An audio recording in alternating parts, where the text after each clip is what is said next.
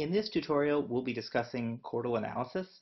Uh, we'll be putting into practice um, the nomenclature, the symbols that you were taught in the reading for this chapter.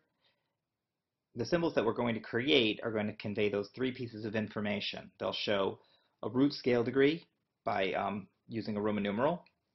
They'll indicate the quality of the chord by capitalizing the Roman numeral. And they'll indicate the inversional information uh, by that shorthand in which uh, a blank entity, uh, if there's no extra information beyond the Roman numeral, um, that means it's in root position. And if the little six appears, it means that we're dealing with a first inversion chord. So here's a sample of what the symbols that we will be creating will look like. Um, in G major, we see that we have a, um, the first of those chords indicated is a four chord. Um, that would be a, a, scale degree four chord, um, a C chord in the key of G. Um, by the fact that it's big, we can tell that it's a major triad, and that's quite expected for the key of G major, C major triad. And the last addition of the six indicates that this C chord will not actually have a C as its lowest note. It'll have uh, an E as the bass note. Um, moving to the middle chord, um, in G major again, this is indicating uh, a chord built on scale degree 3 or a B chord. Um, the lower case of it indicates that it is in minor, so it's a B minor triad, again, which is completely fit, uh, a completely good fit to the key of G major. And the fact that no extra information is there means that it's simply a B triad in root position. Um, this last chord is indicating an A chord of some type in G major. It's indicating it's diminished, which would have to happen through the use of um, an accidental or two. We won't actually create this chord. And it's indicating that this A chord is um, in inversion so that the A is not actually appearing as the lowest note. Um, a different note will appear in the bass. To put this in practice, we'll consider briefly the long way to create a Roman numeral, and then we'll figure out a uh, much faster method. So what we're looking at is the Minuet by Beethoven from your reading. Um, it's been reprinted here. It sounds something like this.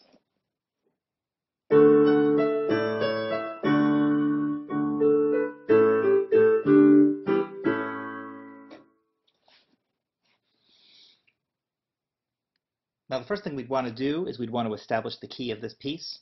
Um, based on the key signature of two sharps, the two good guesses are D major or B minor. It sounds quite optimistic and happy. And it has a lot of activity in the bass line that has Ds and As and Ds, so it really is in D major. And the next thing we'd want to do really quickly is to move through it establishing uh, the roots of the uh, chords.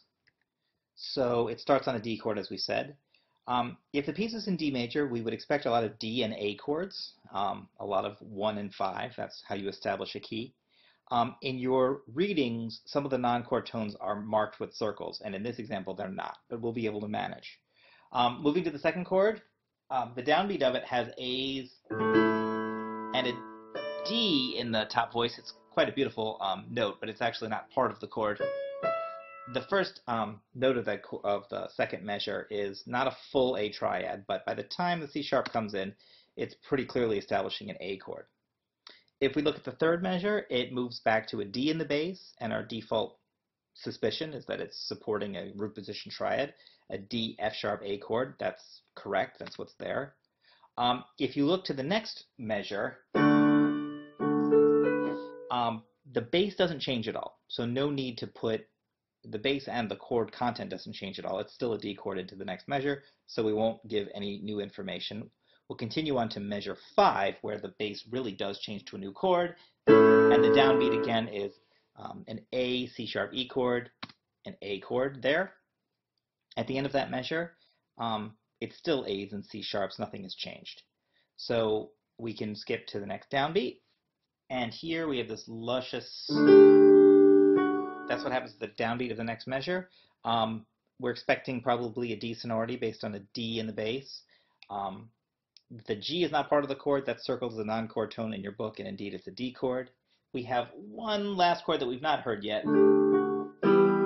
This is the last chord, uh, it's the second to last chord of the entire example, and that is based on an E. Uh, we ask ourselves, is that an EGB chord? Um, and it is. It, based on that bass note E, we can simply say, yes, it's an E chord.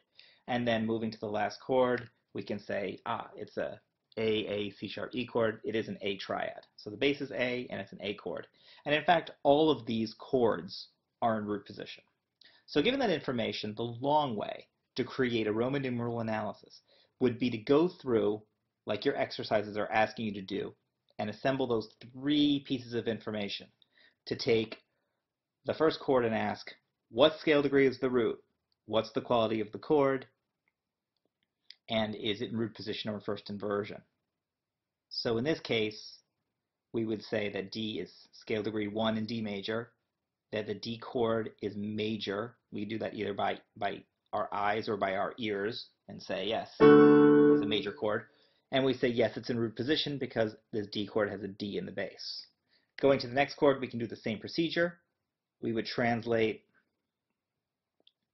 the root A into scale degree 5, say that the A chord is expected to be, um, that the scale degree 5 chord is expected to be major in the key, in a, in a major key like D. And again, A is the root and A is in the bass line. So again, we know that this is a root position chord. And moving really quickly to the edge of the example, we might take our last, second to last chord here, translate E into scale degree 2, translate the second scale degree um, triad of a major key into an expected minor chord, or we could just listen to it and know that the two chord is, uh, the second degree chord is usually minor, and again, we know they're all root position. And that would make us translate, um, I guess in this last chord, a Roman numeral 2 that's lowercase with no extra information. Now that's the long way to do things. There's a much faster way. So what we can do is simply rely on our knowledge of um, what is expected as the diatonic chords to happen in D major, those qualities always happen, and these Roman numeral sizes always happen, unless accidentals are changing them up. So I'm going to get rid of those and simply translate our chord roots into Roman numerals. So we kind of have to juggle, you know, keep a couple of pieces of information in mind at the same time. You're certainly welcome to do that long way of the three pieces of information and boil them into a single chord a single chord symbol, but this is faster. So going back to the beginning, we look at the first chord and say we know it's a D chord. We say the root is scale degree 1. It's going to be a Roman numeral 1. The expected Roman numeral 1 at the top is big. And is there any extra information we have to include about inversion? And the answer is no. It simply is a root position 1 chord. The second chord is an A chord. That is a scale degree 5. That means uh, big 5 appears at the top. That's the expected Roman numeral in this key. So we can simply say that this is an A chord, that it is a Roman numeral 5. It is this symbolizes A major in root position, and that's what it is. The third chord is the same as the first chord. It's a D chord in root position. That's Roman numeral 1. The fourth chord, we're not even marking because it's the one carries through all the way into the next root at the beginning of measure 5. An A chord in root position, well, we've seen that already. That's an A chord. Um, even though the notes change towards the end of the measure, um, no reason to change our symbols at all. The next downbeat is a D chord in root position, a 1 chord. We reach our E chord and here that's scale degree 2. So we said that that was expected to be um, scale degree 2. Um, it's expected to be a minor chord, and we can say that it is an E chord, and E is in fact the bass note. It's in root position, so we can just use the regular rolled 2, and the last chord is a Roman numeral 5. And that's the full chordal analysis of this example. If we move on to the other version, things get a little more complicated. And this time I've left the non-chord tones in. It sounds like this this time, the bass note. Uh, first I'll just play the outer voices.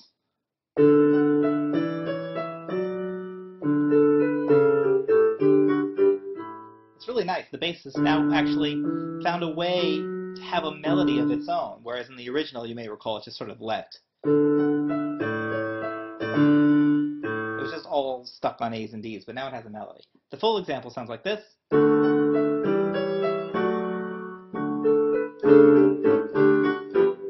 something like that. I made a little mistake, but I'm going to keep going. Um, Here, we'll do the same procedure, but we'll actually see that the roots are a little different than expected. Um, we have our expected um, spectrum of chords in D major and their qualities. Um, that's not something I recommend that you write out. It's just I recommend you memorize and you always have it in mind, both for major and for minor. minor. We'll start, and we know that we're in D major with a 1 chord. Now, as we trace the roots, this time they've changed. The second chord has an E, I'll get my pen here. The second chord has an E below, a G, and the D has been marked as a non-chord tone. What's important to see about this chord is that even though it has an E in the bass, we might ask ourselves, hmm, there's an E in the bass. Is this an E chord? Is it an EGB chord? And the answer is no. There is, um, there's no B. It's E, G, there's no B. And we know that C sharp is a chord tone, so E is not really the right note to describe this chord. If we had to take this E note, this G note, and this C sharp note, the only way to structure them together is with the um, root of a C sharp. It's a CEG chord. C sharp EG are the only way to capture those three notes. So we have a different root than we've seen before. Going on to the third chord, we can play the same game. It's very important to look at the bass first and say, oh, okay, F sharp. Great, F sharp. I'm trying to indicate that note here. So that's the F sharp there. And to ask, is this an F sharp chord? Well, no, it isn't. It's not an F sharp A C sharp chord. It actually has a D in it. The only way to capture this chord, the three notes of this chord in a stacked triad, is um, as D, F sharp, A. It's a D chord. And what I've done here, i have misremembered how I've uh, arranged my information. But if you go, what I did in the previous measure is to say a C sharp chord, um, to backtrack what happened while you weren't looking. There was a C sharp chord here. We know that's scale degree 7 in D major. So we can use the Roman numeral 7. And the other thing to say is that it's a C sharp that has an E in the bass. So that 6 indicates that we didn't have it in root position. So this time I'll do root and then Roman numeral directly. So going back to our third chord, which is this one, we said that's a D chord. It is a D F sharp A chord. And that's scale degree 1 in the key. So we know it's a Roman numeral 1. The only question is, is it in root position? Well, this one is in root position. This has an F sharp in the bass. It is in first inversion. That's a 1-6 chord. If we move on to the fourth measure, finally we have a D, and maybe can we finally say that we have a root position D chord? Yes, that is a nice D chord, Roman numeral 1. Moving into the next measure, let's talk about what this root is going to be. We see a C sharp in the bass, so you might immediately think, well, maybe it's a C sharp chord, like before, C sharp E, G. This time, however, the three notes involved are not C sharp, E, and G, but rather there's an A present. So the only letter that'll capture the C sharp, the A, and the E is A. It's an A chord. It uses the notes of an A chord. So if A is the root, that makes it scale degree 5 in the home key. We're going to use a Roman numeral 5. And we know this is, uh, if we compare the root A to the bass note C sharp, they're not the same. We're dealing with a chord in inversion. The purpose of the music of this measure, or what happens in the bass line of this measure, is that the bass note changes halfway through. Right? So it starts on a C sharp in an A chord, but at the end of the measure, it's on a root A. So at the end of the measure, um, it's shifted from being an A chord in first inversion to an A chord in root position. The next downbeat, we've seen this chord before from the previous version. That's our D chord um, with a non-chord tone above it. But once the F sharp arrives in the second beat, we know that we're dealing here with a nice one chord. And then the second to last chord of this example, um, G in the bass, is it a G chord? hard to tell. um, it would be safe to say that this is a G chord of some type. Um, the way that I've rewritten it, I think it'd be fair to say this is a big four chord. There's no information that indicates that it's not. And then the next chord is an A chord, five. So we'll leave it like that. The things that were interesting here is the is the times in which we saw a bass note, we had to figure out the root, and then ask ourselves if it was in first inversion or not. So that is basically the procedure by which you would do a chordal analysis. It's a matter of establishing key first, then finding the roots, and then going and asking yourselves, what scale degree is that root, and does that agree with the bass line? And at the same time, you have to keep track of what are all the expected chord qualities. So it's very complicated, but that is the way it's done. And um, I recommend you go slowly and maybe watch this little tutorial again.